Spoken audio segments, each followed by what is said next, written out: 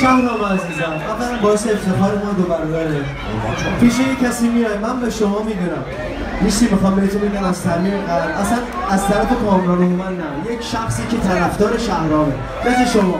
افتخارش این ازشی بزنم من باید یه چیزی بگم.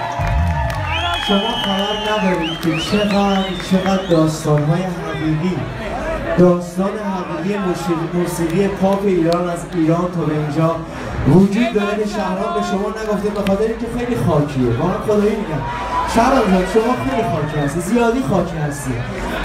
جون من این حقیقت رفتم خوششویی این حقیقت رو دوستان بگو. این دوستانی که در موسیقی پاپ که همشون پیشکشور هستن از جمله شهرام عزیزم. شروع کردن اسم نمی‌خوام ببرم.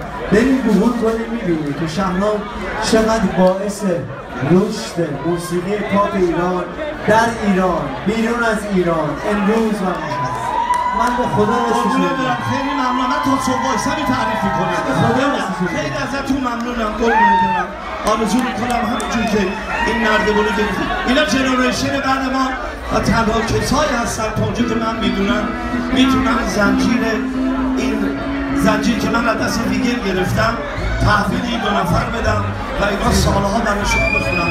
ما دیگه من برادرم سه چهار سال دیگه بیشتر جا نداریم. اصلا اینجوری نیست. 20 سال دیگه هم می‌خونه براتون. شهرام عزیزم بیشترین هیت موسیقی و آهنگهای شاد ایرانی داره سبکش هم یکه واقعا میگم رو دستش هم نیومده که سن نمی‌تونه از آن آقا برو خودتون. خدا شهرام جون چه گفته؟